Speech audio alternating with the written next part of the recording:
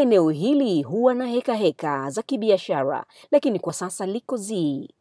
Takriban maduka ishirini yamefungwa kisa kreti moja la soda lenye thamani ya shilingi elfu kumi na mbili. Tukio hili limeanza mara tu kijana Frenki Lucas aliyeajiriwa na kuletwa katika kijiji cha Nyamigana kwa ajili ya biashara ya mchezo wa bahati nasibu, akiwa ametimiza vigezo vyote kwa kulipa shilingi elfu ishirini kiingilio cha kijiji na kuruhusiwa kuanza kazi, lakini kizuizi kikafika kwa wafanyabiashara wenzake. Bosi wangu nimemwambia hilo swala, akadai yani hilo swala hajaambiwa lolote lile ofisini na alijui. Sasa nikawaambia nipeni nini katiba yenu hivi, labda mna katiba fulani hivi, labda ofisini wanaijua. Akadai hawana.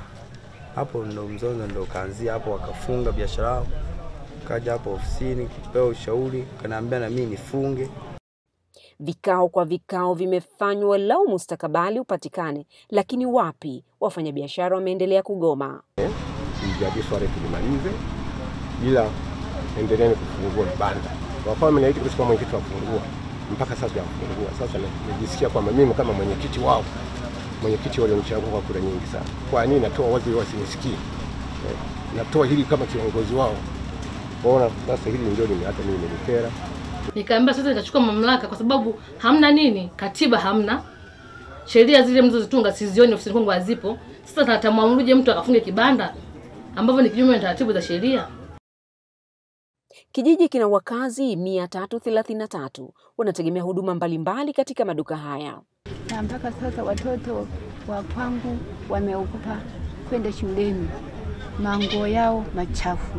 Nilikuwa nimekuja kununua mboga na mafuta ya kula, nimekuta maduka yote yamefungwa, sijui tufanyeje. Swali ni kwamba thamani ya biashara walizofunga ni zaidi ya milioni, na hiyo kreti moja ya soda ukiitafakari wanaigawana vipi? Maana wako zaidi ya wafanyabiashara arobaini. Mmoja wa wafanyabiashara Robert Chali anabainisha kuwa ikitokea umeletewa kreti la soda hawanywi, bali wanauza na kuingiza fedha wanazopata katika mfuko wa kikundi. kiingilio, hata akitoa kumi na mbili au atoe kreti ya soda, akiacha kwa sababu yeye amekaidi, hataki kuungana naye sisi. E, kufa kufaana, wengine wafe, sisi tupate.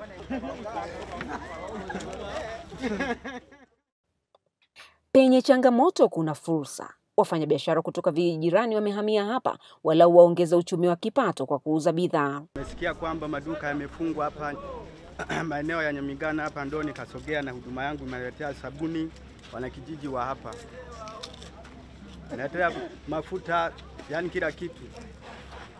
Kwa leseni ya biashara lazima uiendeshe eneo uliloomba, na mfanyabiashara aliotaka kuweka mchezo wa bahati nasibu kwa sasa inadaiwa kuondoka eneo hili.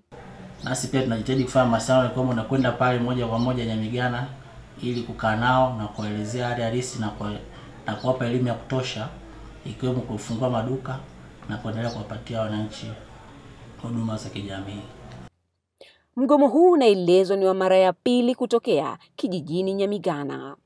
Salma Mrisho, Star TV, Geita.